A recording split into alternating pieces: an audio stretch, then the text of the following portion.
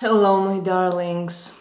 Welcome to this session, this message. I decided to talk about the most dangerous thought process that can occur at the human level. And maybe not only at the human level, but we're incarnate as humans here. Uh, The most dangerous thought process that can occur is the identification process. And what do I mean by this is that this is probably the most creative thought process that it it creates an identity. And what is an identity? It's a reality, a reality of the self you create a reality for yourself. And the more you repeat that, the more you believe that, the more you believe that, the more you make it happen. Basically, manifestation. Now, some people don't use this power at all. Some people have given up this power entirely. They identify with their names with their age, and even worse, with their job. I suppose you've heard many people telling you that they are a doctor, that they are a physician, that they are a, an engineer, that they are a taxi driver, that they are a, an accountant, that they are a etc. That's not what you are that's a job. A, a job that is something which talks about the kind of service you give to the society, to the community you're part of. That's all that that is. Nothing else. It's not what you are. It's not your life. Unless you have no life. Unless you're a workaholic or stuff like that. But that's not life. That's not who you are. And I know that most people in the spiritual communities already know this. But there is something about the identification process that even people in the spiritual community still fall for it. And this is the most damaging thing about this identification process. It is the thing of identifying with the incarnation. There is this phrasing, your soul. If you allow yourself to truly feel what that does for you, it breaks you, it ruptures you from who you are because you are a soul. All of you are souls. Everyone is a soul. In the eyes of divinity, in the eyes of the one primordial creator, you have no names. You are not insert name here. The name you have in this lifetime. You are a soul a soul with a certain trajectory of evolution, each one having their own trajectory indeed, but a soul. Everyone is a soul. And that's it. This is how you are in my eyes. And I advise you, please start understanding this.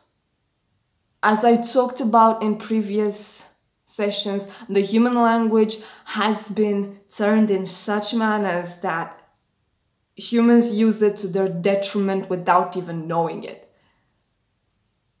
I suppose there are some of you who've heard that, you know, that saying, you're not a body having a soul, you're a soul having a body.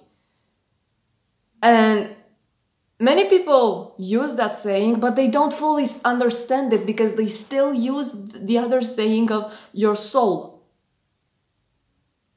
Think of it. What does that do?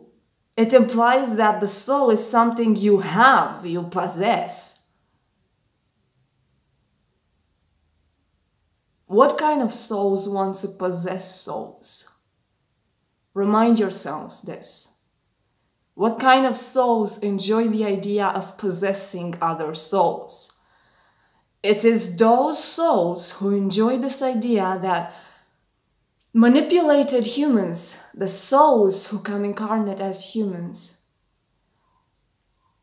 into phrasing things in such a manner that they renounce their own selves, the souls who they are, and they start identifying with incarnations. They stop being who they are, souls, and they started becoming just humans. And indeed, I tell you, I look around every day and I see so many people. They are only humans, they are not souls. And they don't even have souls. They are depleted of everything they are. And this is the thing you're not depleted of your soul. When you're depleted of those soulful things, you're depleted of yourself. Because the identity, the true identity, is that of who you are a soul. And every soul starts by being nothing. This is true power and understanding that your true identity is that of being nothing, absolute nothing. And only then do you start traveling through existence and going through journeys of becoming this or this or this or this and understanding nuances of abundance, love, joy, happiness. Yes, these are identities as well. I am abundance, I am joy, I am happiness, I am fulfillment. These are identities. Again, you don't have joy you don't have love. You become joy, you become love, you are joy, you are love. And these are things that fill you up. Why is it that they fill you up? Because you're nothing, essentially. You're nothing. The true power of a soul is that of being nothing not of having nothing, of being nothing. It is time that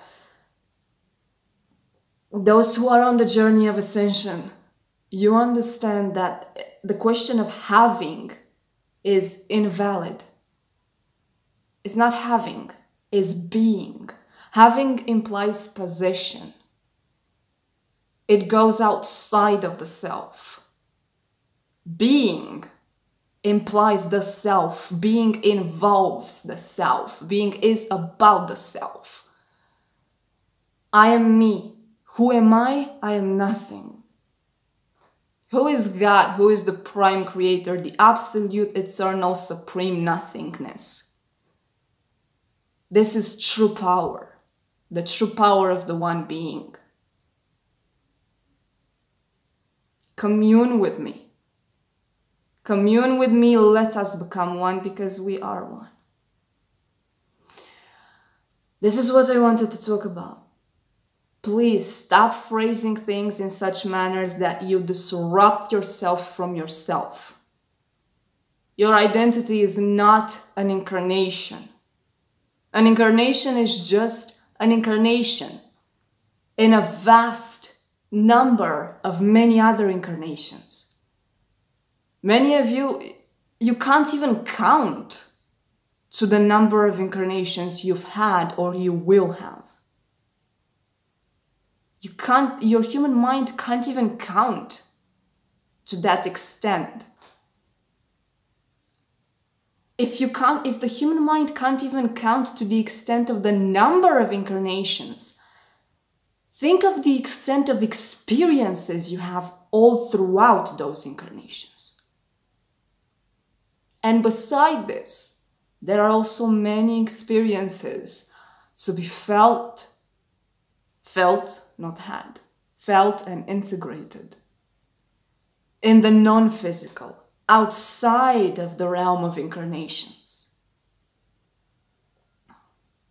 So, again, I encourage you to stop dissociating yourself from yourself. Stop rupturing yourself from yourself. What happens when you say your soul is that you are here, you, the soul, and instead of you, your presence as of the as of the current incarnation being here, integrated in who you are, it goes here.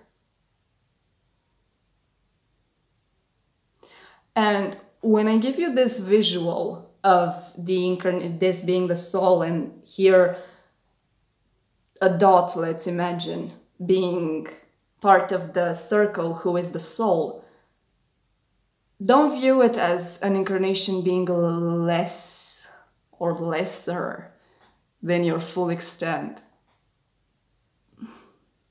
It's a whole philosophy involved here. A dot is like the circle. Every dot within the circle is the circle, nonetheless. But that's the thing understanding that you are the circle, not just a dot. And when you are the circle, you regain your power. This is a major thing. This is how they manipulate. This is how they possess you. Because without realizing it, many people are throwing away their power. And as I said, even without re- without realizing it, without realizing, some still think that some think that they have taken back their power, but they are still throwing parts of it away.